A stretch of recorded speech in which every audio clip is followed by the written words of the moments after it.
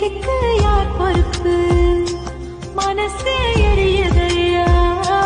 என்ன சுத்தி சுடு நெருப்பு.